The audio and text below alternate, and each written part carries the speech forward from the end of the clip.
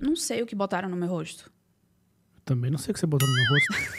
Você sabe que eu expliquei, que você não presta atenção.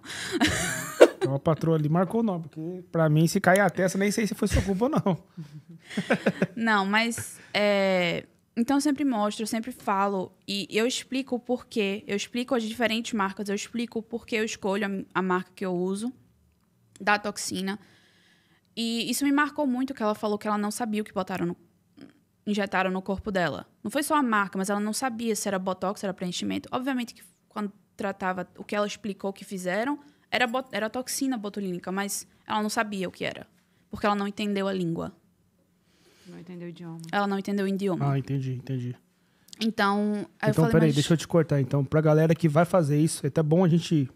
A gente nunca sabe, né? O público que tá vendo nós agora pode ser que passe por uma situação. Uhum. Então é importante que a pessoa saiba o que ela tá colocando, ela saiba o nome do, do produto que tá entrando no corpo dela. É, e até e, e a quantidade e, e você entender se você se você for num, num- numa clínica que só fala inglês e seu inglês não é tão bom, pede um, um segundo para você traduzir o, o, o consentimento, você traduzir até botar no Google o- a, a, a profissional falando e você lê o que ela está falando na sua língua.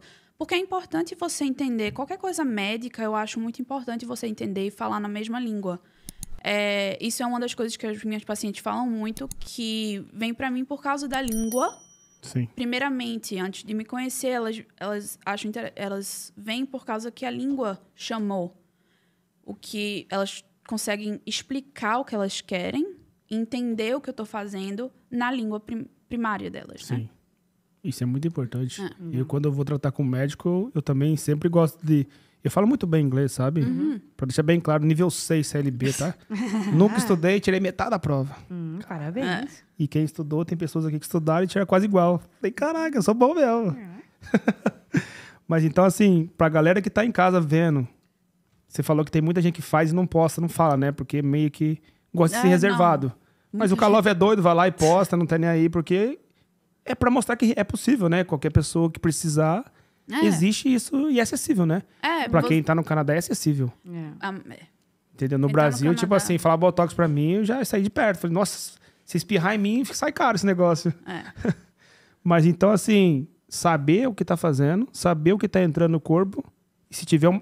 Vocês costumam entregar uma receita com o nome pra pessoa saber?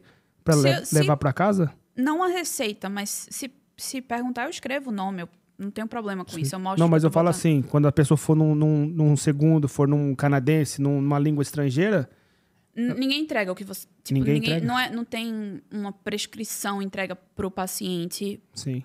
do que ele fez normalmente. Às vezes fa- sa- sai no, no invoice, no recibo, sim. mas, é, mas não uma prescrição.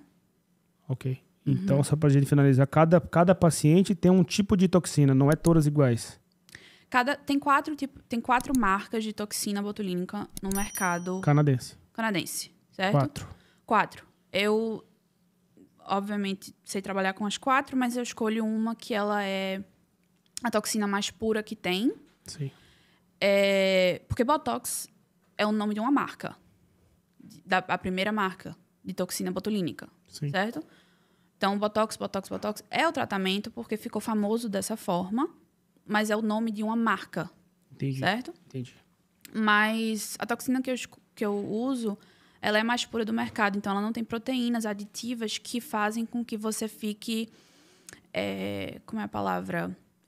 Que não funcione, que a toxina com o tempo não funcione com você. Eu já tive pacientes... resistência. Resist, Ah, resistência, resistência, sim. exatamente. É, eu já tive pacientes que vieram do Brasil, tá recentemente com uma receita do médico dela, que escrito é, essa paciente ficou resistente a tal toxina. Não Oh. aplique essa toxina. Tipo, porque não funciona nela mais. Porque ela já fez tanto. Porque outras toxinas têm essas proteínas aditivas que o corpo cria resistência e não funciona mais. Então eu escolho essa por conta, principalmente, dessa propriedade que ela tem. Ah, entendi. Uhum. Então o corpo acostuma com aquilo e já acaba não funcionando mais. Até com medicação. Tilenol, tem gente que já que toma muita, muito Tilenol, já toma muito antibiótico. É até uma das coisas que, que eu aprendi com a vida, né? É que você. Não é bom você ficar tomando muito antibiótico para tudo, Porque você vai criar uma resistência quando você tiver um problema realmente. é, pode ser que esse antibiótico seja o que você precisava e o seu corpo não aceita mais. Não funciona. Faz sentido.